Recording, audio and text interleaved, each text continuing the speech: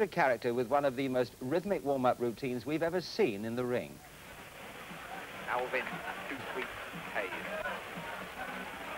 Six foot one, and, well, get the impression he might be a bit of a showman, don't you?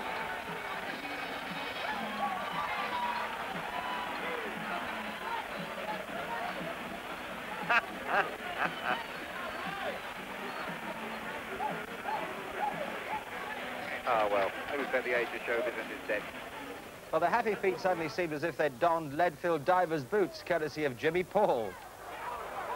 Hayes wobbled there, coming towards the end of the sixth round, in trouble in his own corner, and he's down.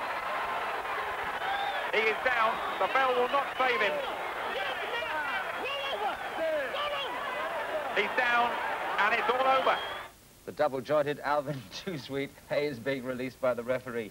Did you ever think of doing some kind of routine like that before you uh, yeah. before you started the fight? I think if you want my legs to move like that, you'll have to give me a couple of bottles of scotch, I think. I can, I can imagine if that had happened at Kelvin Hall Glasgow, what they'd have said. I can imagine. I think they would carry me out before the fight instead of after the fight.